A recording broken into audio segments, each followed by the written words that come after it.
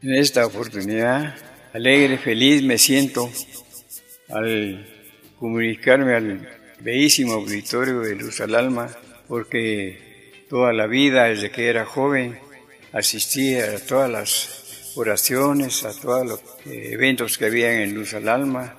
Recuerdo cuando eran los aniversarios y venía el hermanito Alipio, yo me encargaba de hacer la propaganda y anuncios de la bienvenida de este hermano cuando venía el hermano Luis y, y varios hermanos que venían a dar sus conferencias. Yo hacía la propaganda por, por teléfono o, por escrito y ponía la bienvenida ahí en la escuelita Luz al Alma, en fin, que en muchas formas colaboraba porque, como les vuelvo a repetir, para mí sigue siendo un segundo hogar Recuerdo muy bien eh, que era director de la escuelita, que yo lo bendiga, lo proteja y lo tenga en uso de espíritu.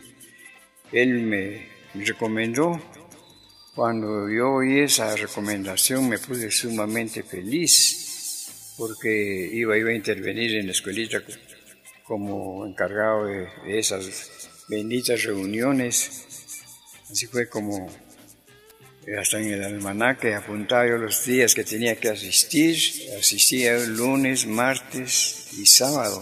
Cuando vino el hermanito Jorge, yo tuve que dejar esa actividad que estaba desarrollando.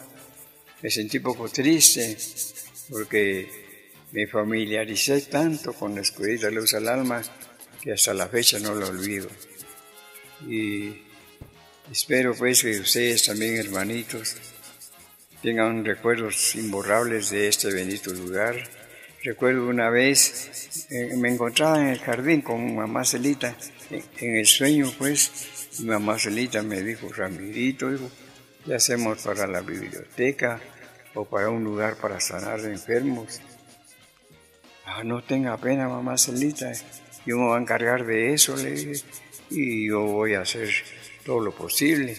Bueno, dijo, Celita y se despidió.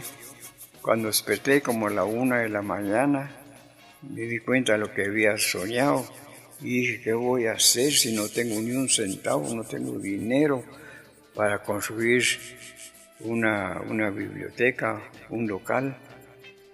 Total que me puse muy triste, muy preocupado.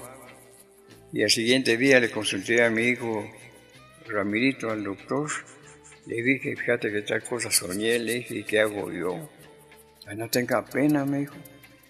Yo tengo guardados ahí diez mil quesales que me dejó un hermano del Brasil, que vino con el hermano Alipio, el hermano Jorge Lico, y me dijo, voy a hablar con él para ver si, si me permite hacer uso de ese dinero en esa forma.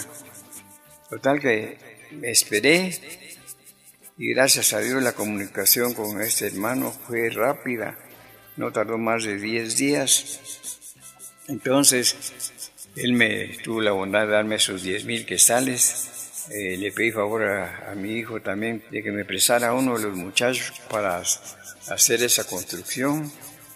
Entonces eh, se compró el blog, se compró la arena, la, cemento, el hierro y todo lo disponible para hacer esa construcción.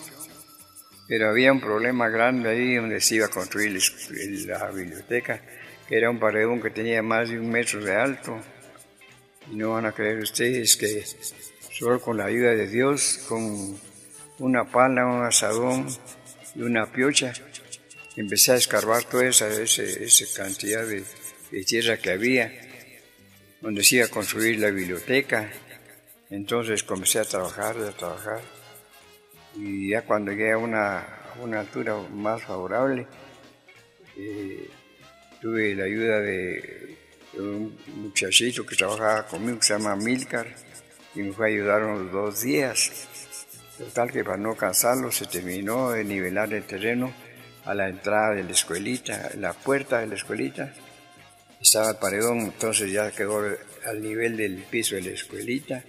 Y se construyó la biblioteca con el hermanito que yo lo iba a dejar a las a las 7 de la mañana a trabajar y le iba a traer a las 4 de la tarde, le dejaba para su almuerzo, ahí cerquita venden, vendían almuerzo, y total que así se logró construir los cimientos, la pared como más o menos un metro y medio de alto, y con su enlaminado, con todo lo necesario.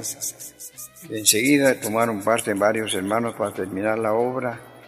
Me recuerdo el hermano Efraín Reina y varias personas que contribuyeron. Y quedó local terminado con su piso, con sus paredes, pintado, con su cielo. Y de unas dos bancas de la escuelita logré el carpintero me hiciera dos eh, lugares como para sentarse a las, los hermanitos a escribir. Total que quedó terminada la local de la biblioteca y lleva el nombre de hermanita Celita. Recuerdo a ella porque por ella está.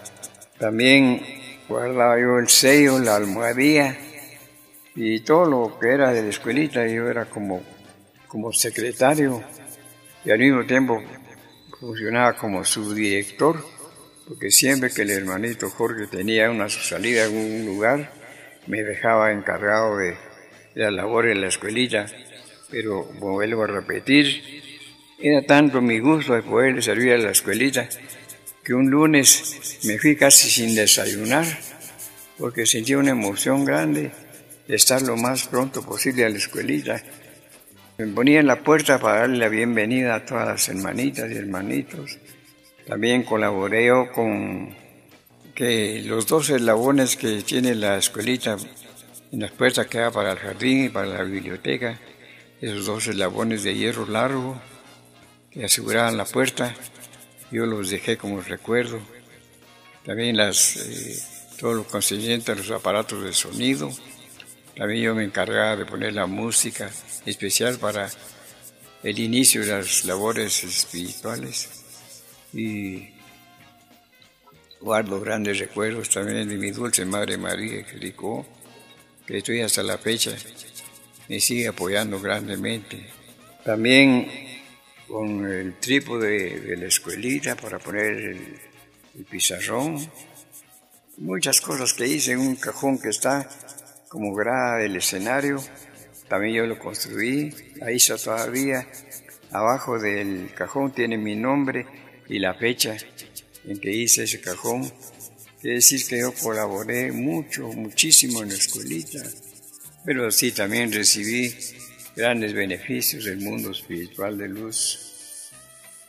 Y construí la instalación eléctrica ahí con la hermanita Petrona, cuando ella se, se, pasó a vivir ahí, la puerta que está en, el dormitorio, la hermanita Petrona, yo, la, yo lo llevé también, yo la hice, la llevé ahí, es una puerta de color celeste, parece recuerdo, ya no sé, está todavía igual. Y la puerta que está en la entrada de la escuelita, en la entrada de un tal jardín, también fue un obsequio que me dio el hermanito Jorge de León y yo la llevé. En fin, que para mí era, como vuelvo a repetir, un gusto grande servirle a la escuelita porque la tenía como un segundo hogar. De manera pues de que eh, agradezco mucho esta entrevista. Muchas cosas más quisiera decir. Ya tengo 95 años de edad y gracias a los hermanitos espirituales, a los seres amorosos de la Escuelita de Luz del Alma me encuentro perfectamente bien y gracias a Dios me encuentro perfectamente bien, que no adolezco de nada, nada Todo lo que es natural es mi memoria, la vista y los, el oído. Camino bien, hago ejercicios y todo es por la ayuda espiritual.